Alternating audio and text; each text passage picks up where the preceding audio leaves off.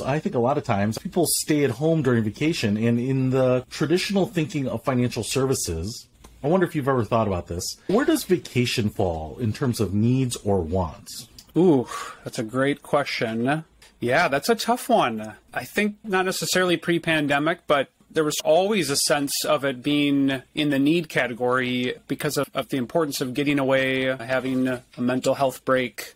Probably maybe a bit more dependent on your stage of life or your stage of work or the type of job or just how busy it was. So I definitely feel as though there was good reason for it to be brought in the need category. I think if you had to give one answer, you would probably almost always put it in the want category just because there are other options. You don't have to always do that. And vacations mean a lot of different things to different people.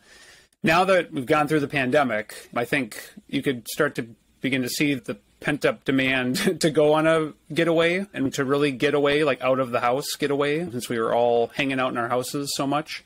And it probably moved up on the need category, the need side of that equation, a little more than ever before.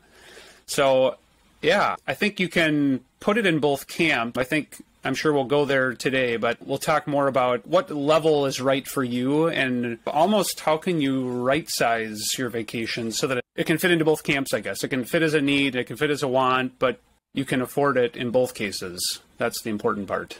Yeah, good term, right sizing. I agree with you. It's if we were to ask the same question about cell phones, need or want, and I think some people would adamantly defend both that they don't need it and others absolutely need it. I would probably be in the camp of needing it.